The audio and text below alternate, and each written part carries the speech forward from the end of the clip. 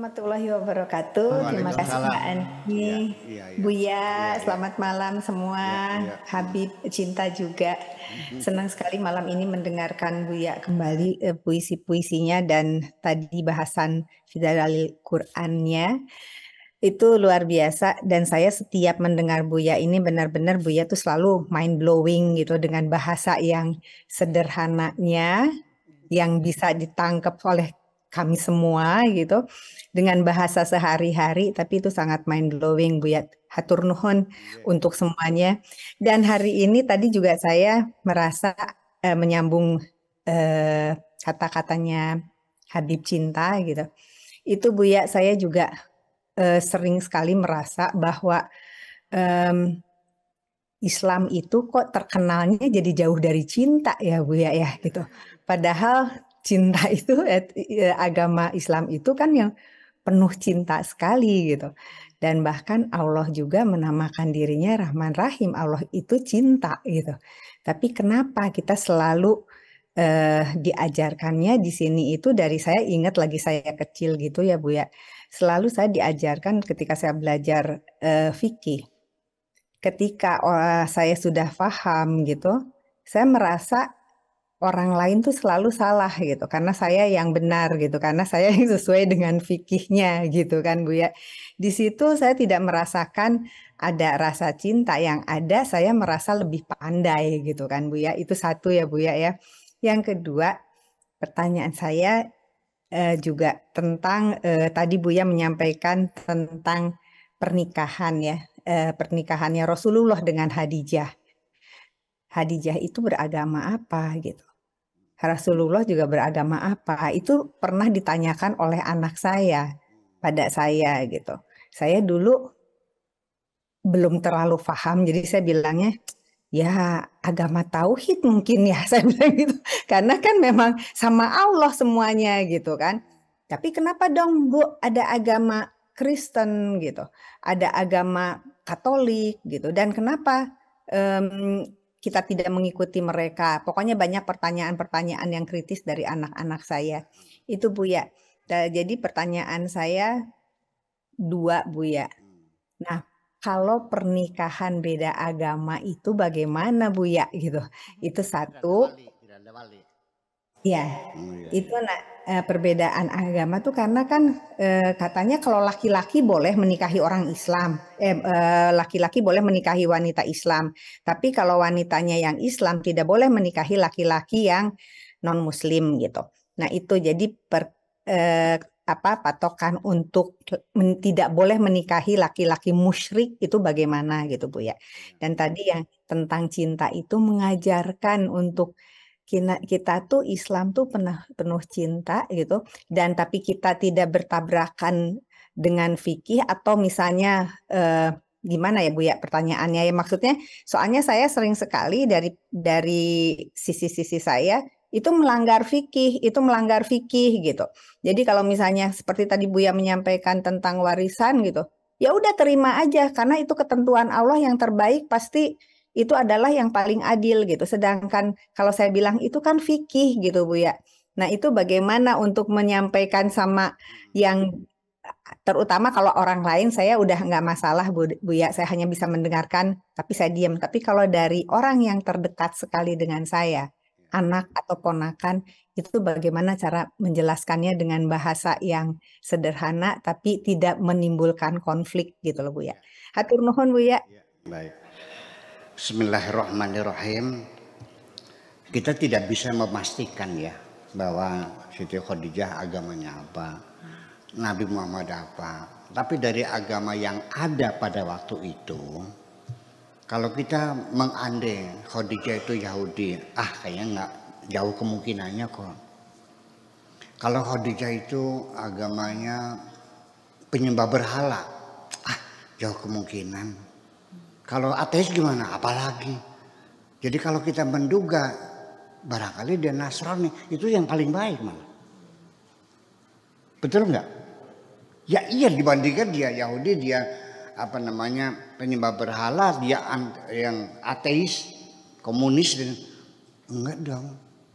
Nah tapi kita punya dugaan alternatif yang lain bahwa di tengah masyarakat Arab selain agama Nasrani, agama Yahudi, agama Majusi, penyembah berhala, ateis dan sebagainya, ada kelompok masyarakat di Jazirah Arabi waktu itu namanya Hunafa.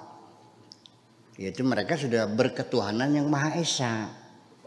Bertauhid. Tapi mereka itu ikut-ikutan nyembah berhala juga. Ketika ditanya, kenapa kau ikut menyembah berhala? Nah, mereka menjawab diterangkan dalam Al-Qur'annya, "Wa ma illa liyuqarribuna ilallahi zulfa." Mereka menjawab, kami tidak menyembah berhala, itu hanya mediator saja untuk mendekatkan diri kepada Allah. Jadi mereka tidak menyembah berhala, hanya untuk mendekatkan diri. E, psikologinya begini, kenapa orang beragama yang Tuhannya itu Maha Esa seperti agama Islam, ya agama-agama atau yang lainnya, itu jarang terjadi saya melihat Orang Islam sholat sambil menangis. Jarang, itu pun sekali-kali di Mekah barangkali ya. Itu keterharuan, saya juga pernah karena keterharuan saya. Jarang sekali. Tapi ketika Tuhannya berbentuk tempekong, itu khusyuk banget sholatnya loh. Sambil mau nangis, sambil mau apa namanya merintih-rintih. Tahu nggak apa sebabnya? Karena Tuhanmu nggak kelihatan. Dan mereka yang bertempekong Tuhannya kelihatan. Jadi sholatnya lebih khusyuk. Nah, saya kira logis seperti itu. Kelompok Hunafa itu menyembah berhala itu tidak meminta pada berhala, tidak menyembah berhala, hanya sebagai mediator saja supaya eh, sholatnya dia ya ibadah mereka kepada Allah itu lebih terkonsentrasi, lebih khusyuk, terlihat berhalanya, tapi bukan pada berhalanya, begitulah kira-kira. Jadi itu yang paling mungkin sekali kita menduga ya mungkin agamanya Hunafa. Bagaimana sholatnya ya kita nggak tahu. Ada rukunnya ya nggak tahu. Apa cukup dengan angkat tangan saja? Ya enggak, kita nggak tahu. Karena tidak ada sumber berita yang menjelaskan secara pasti semacam itu. Kemudian saya dengan para naib kita sering ketemu dengan Edi Indramayu, kepala KUA yang tukang ngawin itu. Kita diskusikan tentang masalah wali. Ya. Saya bilang Pak Naib, ini kan kita lagi geger masalah gender, masalah feminis dan sebagainya. Ini dengan adanya aturan fikih perempuan harus pakai wali. Berdasarkan hadis Nabi, la nikah liman la waliyalah tidak sah nikahnya orang tanpa tanpa wali. Jadi perempuan itu harus pakai wali. Pertanyaan saya kepada mereka, kalau walinya tidak setuju dengan calon suaminya, bisa nggak perlu untuk kawin? Nggak bisa kan? Bisa kawin kalau setuju.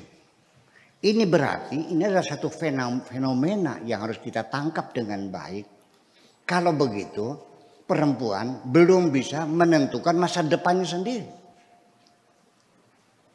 Self determination, hak menentukan nasib, masa depan sendiri. Perempuan tidak punya. Yang menentukan adalah wali. Jadi wali ini jangan-jangan adalah sisa-sisa perbudakan perempuan. Dikungkung, tidak boleh ini. Nah, apa jawaban para nabi? Waduh, Buya, andaikan perempuan nikah tidak pakai wali, betapa kacau balaunya keadaan kita. Nanti orang bisa saja ngawin perempuan kita sesuka-sukanya. Oh, kok Anda berhipotesis seperti itu? Negara-negara Islam yang bermadhab Abu Hanifah, kacau nggak? Enggak kok. Tetap aja seperti kita pernikahan. Jadi nggak ada seorang wali zawaj tuka wa angkah tuka binti Hasanah bimahri kada wa kada halan. Lalu pengantin mengatakan kabil itu tazwijah. Enggak ada. Cukup pengantin lagi perempuan datang ke notaris, nah adel namanya adel notaris itu di balai di balai kota di sana. Ditulis oleh mereka pada hari ini. Tulis notaris lah menghadap kepada saya dua orang warga negara. Satu namanya ini, dua namanya ini. Yang pertama disebut calon suami, yang kedua calon istri. Keduanya sepakat untuk menikah, hidup bersama, setia, lahir batin, dunia akhirat. Tanda tangan. Dah dibacakan oke, sekian selamat. Nggak ada kopi itu, kopi itu nggak ada. Iya. Prosesnya gimana? Ya bisa saja seorang perempuan mengatakan kepada calonnya, Bang, kamu siap mengawini saya? Siap. Selesai. Atau suaminya yang mengatakan, Neng, kamu mau jadi istri saya? Mau, Akang. Ya udah selesai, selamat. Selesai. Kesepakatan kedua. Ini mazhab Abu Hanifah. Seorang imam perkotaan yang berpikiran lebih humanis, ya kan begitu. Sehingga dia mengatakan bahwa perempuan, dan ini juga masih dalam madhab juga, tidak keluar dari Islam, tidak. Dalam salah satu madhab Islam, Abu Hanifah itu tidak mewajibkan harus pakai wali. Wali diperlukan hanya ketika pengantinnya ada cacat. Cacat fisik atau cacat mental. Buta, tuli, bisu, gila, itu perlu wali. Nah itu saja kalau seorang perempuan yang sempurna kayak Profesor Dr. Zakia Darojat. Masa Profesor Dokter masih pakai wali? Gitu loh. Ini berwacana gitu. Ya terserah setuju tidak ya terserah kita semuanya. Ini hanya wacana. Nanti saya dibully lagi begini. ya berwacana. Kalau setuju ya silakan. Sehingga, karena sehingga perempuan bisa menentukan masa depannya sendiri dong. Kalau masih dilarang, berarti kan perempuan belum merdeka. Saya sakit perempuan itu di peran seperti itu. Kalau perempuan itu perempuan bukan sih, perempuan itu manusia bukan sih. Masa begitu? Dibatasi hanya di rumah. Nah, terutama hadis-hadis yang melalui perempuan itu banyak sekali. Adisa min haba ili perempuan itu adalah ranjau-ranjaunya setan. Iya setuju. Setannya laki-laki itu. Iya. Terus tuh ahli ahli nar anisa. Penduduk neraka paling banyak perempuan iya. Tapi juga di surga banyak perempuan. Satu banding 40. Satu laki bidadarinya berapa? 40. Jadi banyak mana yang di surga? Kalau di neraka laki-laki satu perempuan dua lebih banyak ya. Kalau di surga laki-laki satu perempuannya empat puluh. Jadi banyak mana yang di surga? Nah itulah. Perempuan itu din wal akal. Ya Allah ya Rabbi. Itu semuanya adalah hadis-hadis yang sifatnya mendiskreditkan perempuan. Itu saya tidak ada masalah. Pada zamannya tidak ada masalah. Saya tidak menyalahkan. Pada waktu itu seperti itu kondisi perempuan. Ya kan begitu persoalannya. Ya, jadi artinya jangan sampai saya tidak ingin menyalahkan apa yang sudah. Ya sudah ada pada zamannya iya bagus, ya sudah selesai. Nah, dinamika kehidupan kan tidak seperti itu, terus berkembang. Nah, nih, sampai sekarang masih ada dualisme antara hukum fikih dengan kompilasi hukum Islam pernikahan. Suaminya sudah mengatakan cerai, lisan datang kepada saya berulang-ulang tiap hari mengadu kepada saya. saya bilang sudah diproses panggilan enggak? Belum. Ya sudah berarti belum sah. Tapi kata kiai anak sudah sah. Sekalipun dengan lisan. Sekalipun berusaha. Saya bilang belum sah.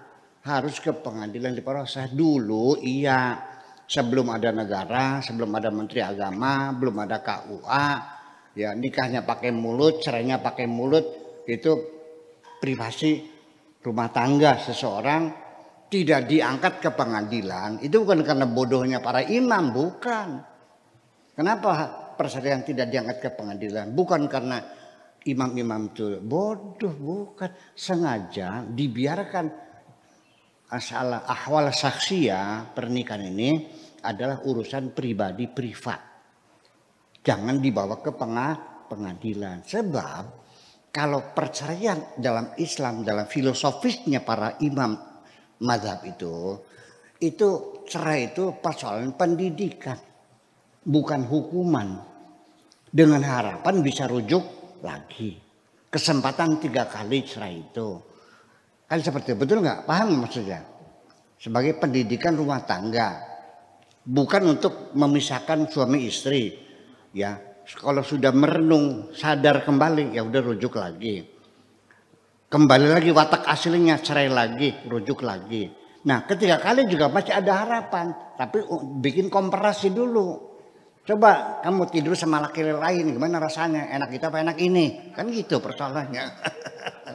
Itu kan pendidikan. Nah kalau perceraian diangkat ke pengadilan, maka harapan rujuknya sangat kecil dan tidak mungkin. Yang muncul adalah dendam. Kenapa? Karena masing-masing akan membongkar aibnya di depan pengadilan. Betul nggak? Si kan mengatakan laki-laki cupar nggak ngasih nafkah, tukang selingkuh, tukang lacur, betul nggak? Diceritakan semuanya. Terjadi dendam. Saya cerai karena budale bodong. Budal bodong loh, bujalnya bodongnya. Coba. Kan anak-anaknya berbahaya. Orang tua bertengkar, membuka rahasia. Anak-anaknya tahu. Dendam kepada ibunya, dendam pada bapaknya. Jadi para ulama pinter nggak? Pinter dong. Kamunya yang goblok. Ulamanya pinter. Tidak diangkat ke pengadilan. Tetapi kita sehari-hari kita melihat dengan mata kepala sendiri perempuan menjadi korban kejahatan laki-laki. Ya, diceraikan begitu saja. Makanya kita lindungi. Nah itu para kiainya tidak mau paham. Pokoknya fikirnya mengatakan cerainya sah. Ya Allah ya Allah. Kalau tidak diproses di pengadilan, nanti istrimu tidak bisa kawin lagi. Karena akan ditanya statusnya apa? Mana surat cerainya? Nggak bisa. Dibilang perawan, ini anak siapa? akhirnya nggak bisa kawin. Iya dong. Nah sekarang saya punya ide besar lagi untuk melindungi perempuan. Kalaupun nanti ketok palu jadi cerai, ditunda dulu ketok palu cerainya, diselesaikan dulu pembagian hartanya. Gono gini itu diselesaikan, disepakati, diputuskan, baru cerai. Jangan sampai cerai dulu, nanti urusan gono gininya belakangan, nggak beres-beres. Ya. Ya, mudah-mudahan ini banyak yang mendengar. Ya, nanti ada penyempurnaan kalau bisa disempurnakan cerai atau persyaratannya harus ada surat keterangan bahwa hak Gonogini sudah disepakati bersama. Baru cerai. Sebab kalau ada pertengkaran berebutan harta, yang kalah selalu perempuan. Ya, karena laki-laki, karena aku yang bekerja. Itu persoalannya. Makasih gitu aja.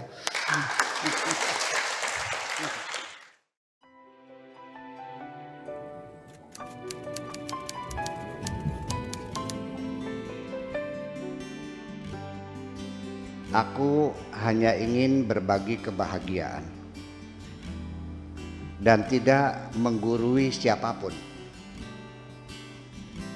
Terlalu sulit bagiku untuk menyalahkan siapa pun akan tetapi apabila ada orang yang ingin mengisi raporku, tentu aku sangat gembira sekali. Dan kujamin aku tidak akan sakit hati sedikit.